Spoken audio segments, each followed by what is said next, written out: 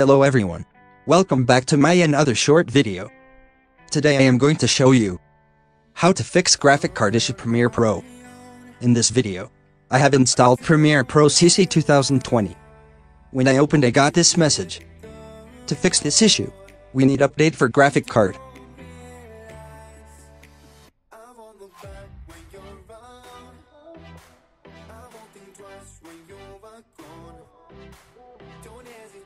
Open Run, Windows. Then type this letters showing in screen.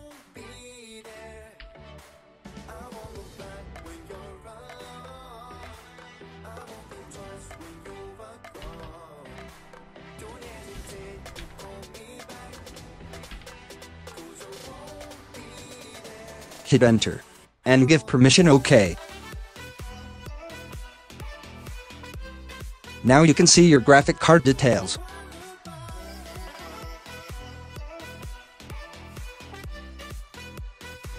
Open a browser and search in Google. NVIDIA Graphic Driver Download.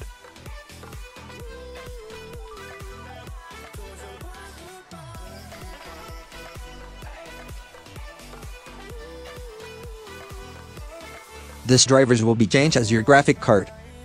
Then open first link. Select your graphic card from here.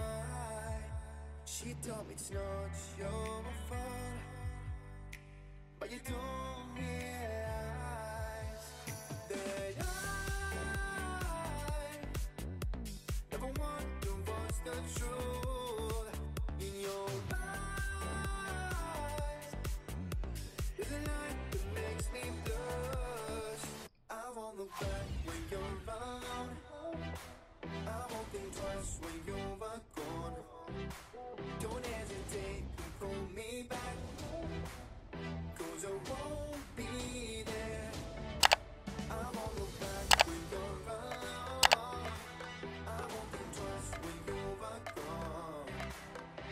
Then download it.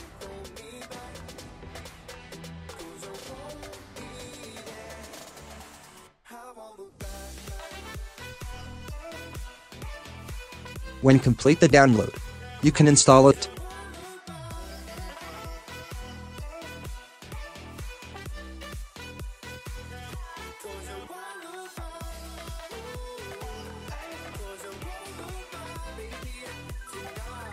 Then check your Premiere Pro works or not.